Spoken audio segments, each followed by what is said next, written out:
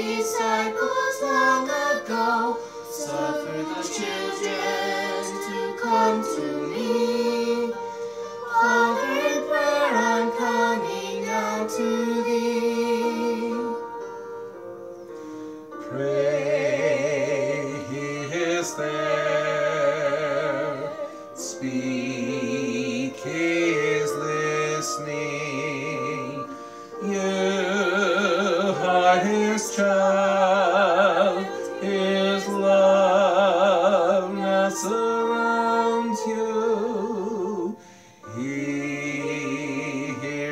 Prayer.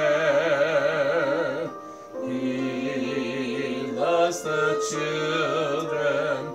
Of such is the kingdom, the kingdom